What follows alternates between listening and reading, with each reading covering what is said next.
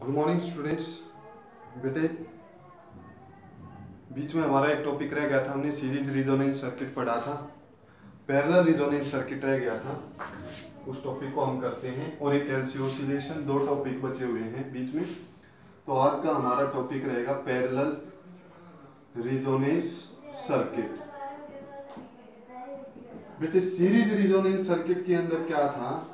Current maximum होता था। Resonance frequency के ऊपर करंट क्या होता था? मैक्सिमम होता था। पैरेलल रिजोनेंस सर्किट के अंदर क्या होगा? करंट मिनिमम होगा। पैरेलल रिजोनेंस सर्किट में क्या होगा? करंट मिनिमम होगा। कहाँ पर? रिजोनेंस कंडीशंस पर। किस कंडीशंस पर बेटे? रिजोनेंस कंडीशन पर। तो that circuit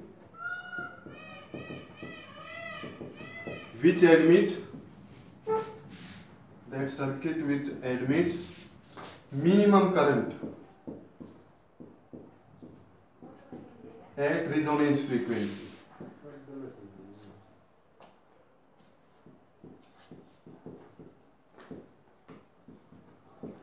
Resonance frequency के ऊपर अगर मिनिमम करंट प्रोवाइड करे तो उस सर्किट को हम क्या कहेंगे? पैरेलल रिजोनेंस सर्किट ठीक है?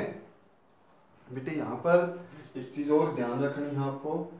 देखो रेसिस्टेंस अगर किसी सर्किट में आता है रेसिस्टेंस किसी सर्किट के अंदर आता है तो इसमें पावर लॉस होती है। पावर लॉस पढ़ा था ना हमने एवरेज पावर की कैलकुलेशन ये लाइंस इंपॉर्टेंट रहेंगी। आपको ध्यान रखनी है, जब हम अगला टॉपिक करेंगे उस टाइम पे कि रेसिस्टेंस किसी भी सर्किट के अंदर है तो पावर लॉस होती है। एवरेज पावर कितनी आई थी? एवरेज पावर आई थी EV multi I V resistance अगर सर्किट के अंदर है। ठीक है? और अगर रेसिस्टेंस नहीं है if there is no resistance अगर रेसिस्टेंस नहीं है तो ओसिलेशंस अनडेम्प्ड रहेंगी। ओसिलेशंस कैसी रहेंगी? अनडेम्प्ड मीन्स उनका एम्पलीट्यूड कम नहीं होगा। अगर रेसिस्टेंस है तो वेव बनेगी कम होती जाएगी। डेंट ओसिलेशन बनेगी डेम्प्ड ओसिलेशन बनेगी पावर का लॉस होगा। बट अगर रेसिस्टेंस नहीं है तो ओसिलेशन अनडेम्प्ड होगी। यहाँ पर जो हमारा फ्रीक्वेंसी ग्राफ है, ठीक है? ये फ्रीक्वेंसी ग्राफ इसका एम्पलीट्यूड कैसा रहेगा? सेम रहेगा। तो ये लाइंस बेटे एलसी ऑसिलेशंस के लिए थी ध्यान में आ गई इसीलिए बता दिया। तो हम पढ़ रहे थे parallel resonance circuit parallel resonance circuit का सर, कौन सा सर्किट है? वो सर्किट जिसके अंदर करंट की वैल्यू मिनिमम होगी किस टाइम पर? रिजोनेंस फ्रीक्वेंसी पर। रिजोनेंस फ्रीक्वेंसी पर करंट की वैल्यू मिनिमम होगी that is known as parallel resonance circuit इसको क्या कहेंगे हम? पैरेलल रिजोनेंस सर्किट कहेंगे।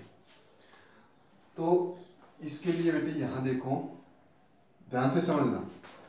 हमारे जो L और C है,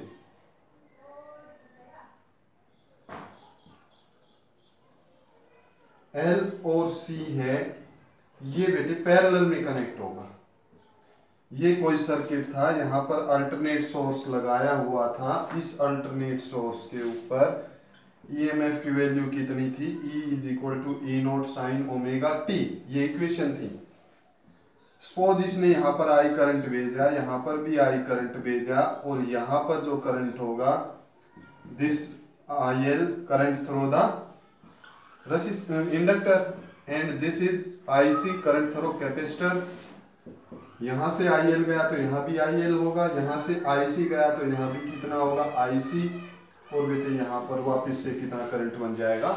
आई करंट बन जाएगा। This is the diagram for parallel resonance circuit circuit देखो एल और सी हमने किसमें कर दिए? पैरेलल में। ये पैरेलल रिजोनेंस सर्किट का डायग्राम हो गया। क्लियर है? पहले तो इसको नोट करो।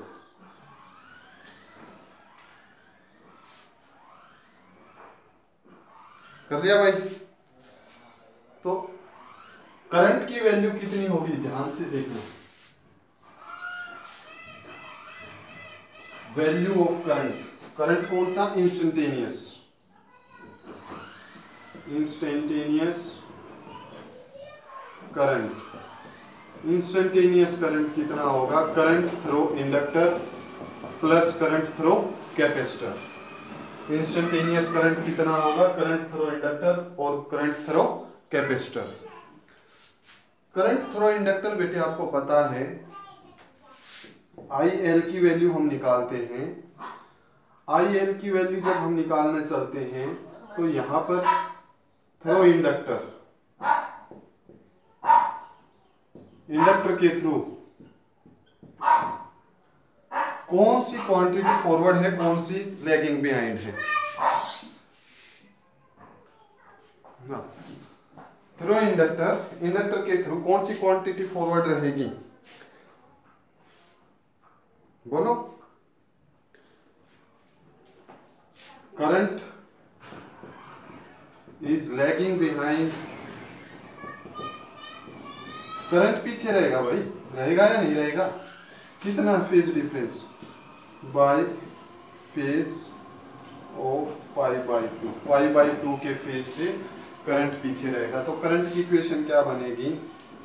I L is equal to I naught sine omega T minus pi by two omega T minus pi by two तो बेटे ये तो कुछ होता ही नहीं। Theta minus pi by two क्या होता है? कुछ भी नहीं होता। Sine theta minus pi by two तो यहाँ पर हम क्या कर सकते हैं? माइनस कॉमन ले लिया। I naught sine pi by two minus omega T, pi by two minus theta तो होता है। क्या होता है? कोस होता है। तो आई एल की वैल्यू कितनी हो जाएगी? Minus I naught cos omega T. I L किसके इक्वल हो जाएगा? I naught cos omega T के। ठीक है? और आई नोट किसके इक्वल होता है? But I naught I naught किसके इक्वल होता है? इंडक्टर की बात कर रहे हैं। E naught by X L E naught by X L तो आई एल किसके इक्वल हो जाएगा? Minus E naught by X L और ये क्या हो जाएगा? कोस ओमेगा टी क्लियर है? आ गया समझ में? तो आई एल की वैल्यू हमने पुट कर दी यहाँ पर। इसको एक बार नोट करो स्टूडेंट्स इसी तरह से हमें कैपेसिटर की वैल्यू फाइंड आउट करनी है। इंस्टेंटेनियस करंट की वैल्यू कितनी? आई एल कर लिया naught I L plus I C through capacitor capacitor के थ्रू थ्रो कैपेसिटर करंट क्या होता है? Current is leads from voltage current आगे चलता है ना वोल्टेज से। Current is leading from voltage by phase pi by two कितने फ़ेज़ से? पाई बाई टू तो आई एल कितना होगा? I naught sine omega T plus में पाई बाई टू आई जो है वो 90 डिग्री आगे रहेगा। ठीक है? तो हमने इक्वेशन बनाई omega T plus pi by two तो बेटे यहाँ पर हम इसको लिख सकते हैं sine pi by two plus omega T A plus B कर दो या बी प्लस ए कर दो। ठीक है? I naught sine I L is equal to I naught sine pi by two plus omega T और ये क्या हो जाएगा भाई? I L is equal to sine 90 plus theta cos theta I naught cos omega T ये कितना हो जाएगा हमारा? I naught cos omega T in case of capacitor I naught किसके इक्वल होता है? E naught by X C I naught किसके equal होगा? E naught by X C तो करंट थ्रो कैपेसिटर कितना आएगा बेटे हमारा? करंट थ्रो इंडक्टर नहीं होगा, ये कैपेसिटर होगा। करंट थ्रो कैपेसिटर कितना आएगा? I C is equal to E naught X C by cos omega T I L की वैल्यू कितनी आई थी? Minus E naught by X C cos omega T I C की value कितनी आई? E naught X C cos omega T दोनों value हमने put दोनों values हमने निकाल। दोनों वैल्यूज़ को बेटे हम यहाँ पर पुट कर देंगे इस इक्वेशन इसको नोट करो इंस्टेंटेनियस करंट पहले हमने किसके थ्रू निकाला? करंट थ्रो इंडक्टर निकाला। अब क्या निकाला? Through capacitor current is this ये वैल्यू आ गई, ये इंडक्टर की वैल्यू आई और ये कैपेसिटर की तो यहाँ पर पुट कर सकते हैं। कर लिया नोट चलो। देखो भाई।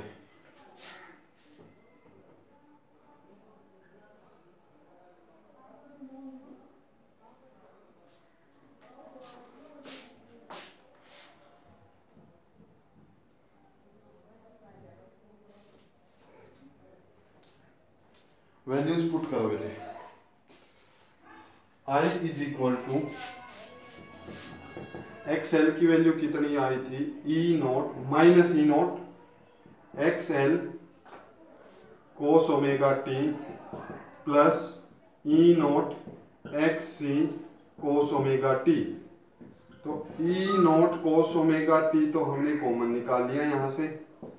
One by X C minus one by X L, हम इसको ऐसे लिख सकते हैं। यहाँ X C plus X L, ये सी है।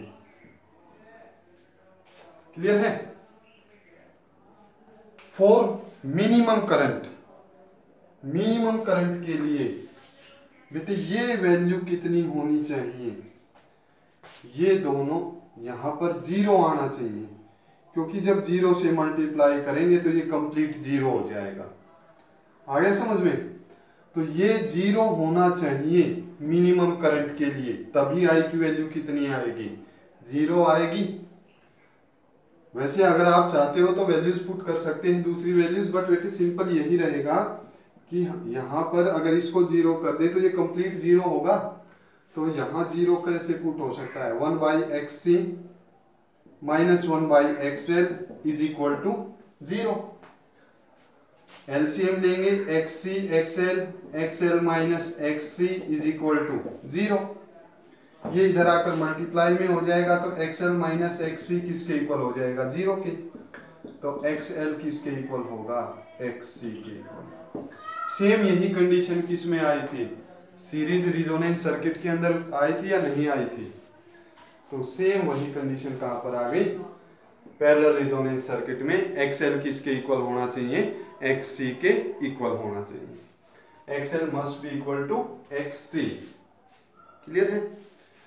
आगे कंडीशन इस कंडीशन को नोट इस कंडीशन को नोट करो भाई।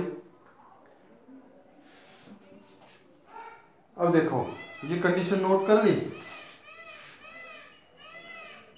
यहाँ पर हम वैल्यू पुट कर देते हैं। एक्सएल किसके इक्वल होता है? ओमेगा एल और ये omega L this omega is angular resonance frequency this is known as angular resonance frequency clear है? ओमेगा एल एक्स सी किसके इक्वल होता है? One over omega C this is this frequency this angular frequency is at again resonance ये फिर से फिर से resonance पर है। Omega R square is equal to one by L C. Omega R is equal to one by under root L C. ये जो one by under root L C आया है, ये क्या आया है हमारे पास? This is angular resonance frequency ये क्या आया है? एंगुलर रिजोनेंस फ्रीक्वेंसी और ओमेगा किसके इक्वल होता है? Two pi nu one by under root L C तो mu R.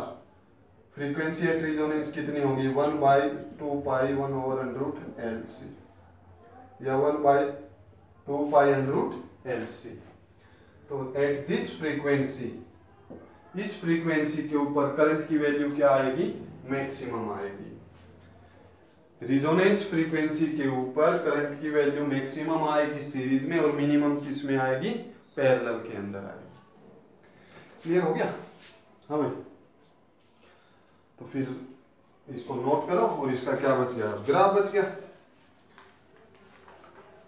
ग्राफ हमें बनाना है। जस्ट वही ग्राफ बनेगा बेटे जो आपने पहले बनाया था। वही वाला ग्राफ बनेगा जो हमने पहले बनाया था। ठीक है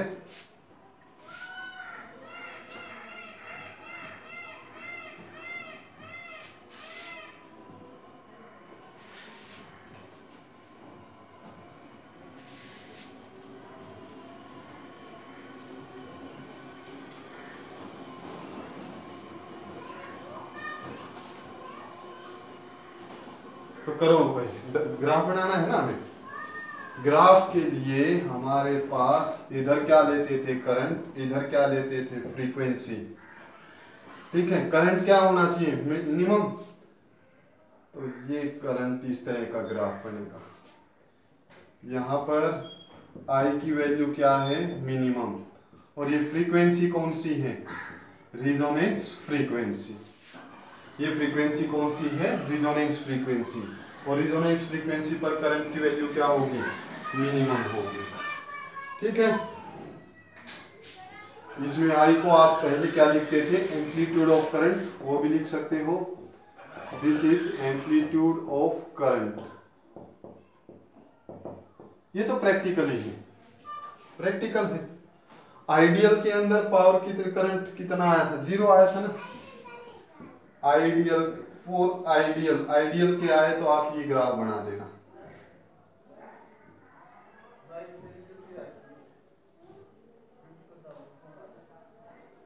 Omega omega R this is amplitude of current ये क्या हो जाएगी? ओमेगा। तो this is for ideal condition ये है बेटे आइडियल कंडीशन के लिए। This is for ideal condition और ये नॉर्मल प्रैक्टिकल जो होता है practically ideal capacitor ideal inductor तो पॉसिबल नहीं है। तो प्रैक्टिकली ये ग्राफ बनेगा। अगर आपसे पूछा जाए for ideal condition ideal condition के लिए आपको ये ग्राफ बनाना क्लियर है स्टूडेंट्स बेटे, पहले इनको नोट करो। फिर हम एक तो छोटा टॉपिक और करते हैं यहाँ पर। LCR circuit in parallel LCR circuit parallel. Series किया था ना? ध्यान है? चलो इक्वेशन लिखो तब तक बेटे मैं मिटा रहा हूँ, तब तक आप इक्वेशन लिख के देखो।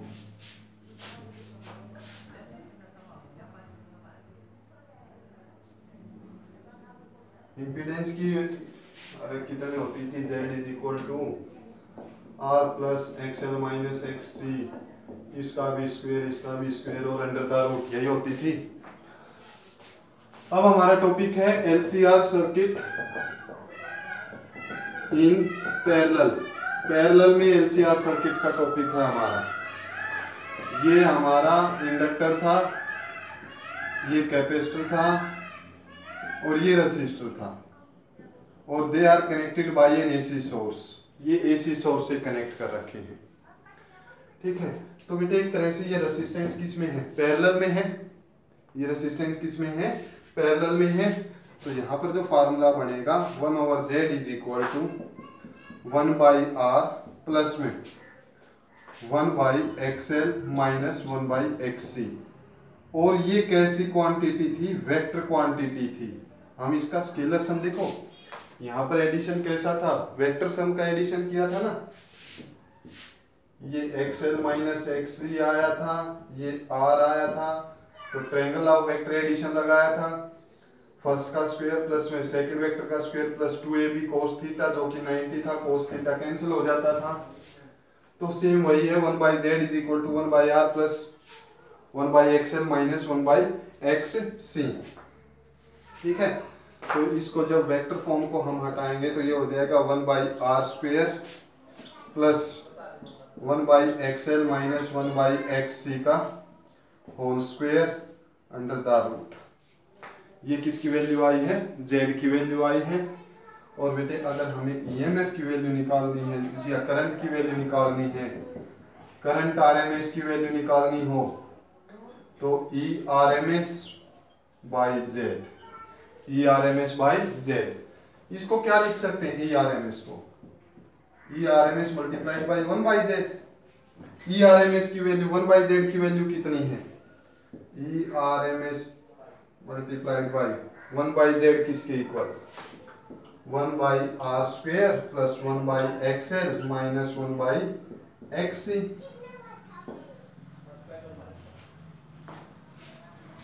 इसका स्क्वेयर इसका होल स्क्वेयर कर सकते हो।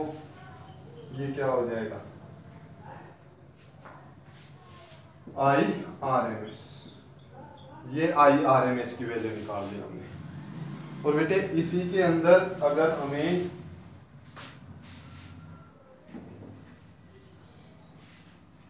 आई मैक्सिमम वैल्यू निकालनी हो आई मैक्सिमम वैल्यू निकालनी हो तो ये होगी E maximum divided by Z तो ये हो जाएगा E maximum multiplied by one by Z E maximum multiplied by Z की वन बाय जेड की फिर से ये वैल्यू उठाकर पुट कर देंगे। ये हो जाएगा वन बाई आर का square plus one by XL minus one by X C इसका क्या होगा? होल स्क्वेयर तो यहाँ से आई मैक्स की वैल्यू निकाल सकते हो। आई आर एम एस की वैल्यू निकाल सकते हो। ठीक है स्टूडेंट्स तो ये इंपिडेंस बनेगा। पैरेलल सर्किट के अंदर ये शायद सिलेबस में नहीं है हमारे बट फिर भी आप इसको एक रिवाइज कर लो। Series resonance series parallel sorry series resonance और पैरेलल रिजोनेंस के टॉपिक थोड़े इंपॉर्टेंट हैं। किस फ्रीक्वेंसी के ऊपर, किस फ्रीक्वेंसी के ऊपर रिजोनेंस कंडीशन मिलेगी? ठीक है शार्पनेस क्या होगी? ये थोड़े इंपॉर्टेंट टॉपिक है बेटे छोटे छोटे टॉपिक है और छोटे छोटे डेरिवेशन है। ऐसे ही क्वेश्चन आते हैं सीबीएस बोर्ड में। हम ये सोचते हैं कि इतना इंपॉर्टेंट नहीं और वही आ जाता है। ठीक है? तो इनको रिवाइज करो स्टूडेंट्स थैंक यू हमारा एक टॉपिक बचा है एलसी ओसिलेशंस और एक टॉपिक बचा है ट्रांसफार्मर दो टॉपिक बचे हुए फिर हमारी यूनिट कंप्लीट हो जाएगी। तो इनको रिवाइज करो। Thank you student seven nice day